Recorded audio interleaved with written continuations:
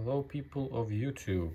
In this episode we're going to be talking about this Dell 17-inch uh, laptop. Uh, the model number is P35E. It's been trolling me for some time this one. So uh, what was going on is that as you can see in Windows 10 install it just gets stuck and on 83% exactly 83% all the time and if we shut it off and restart it again what we're gonna see is uh,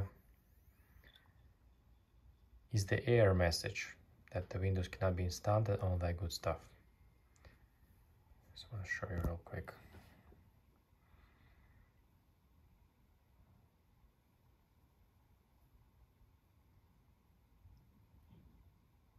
Okay, that's the error message we get.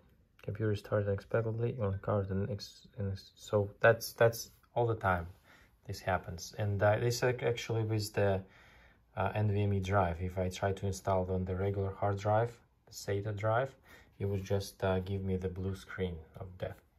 So uh, what I tried, I tried the new memory. I actually ran the mem test on the original memory. It was fine, but I just, just to be sure, replaced the memory.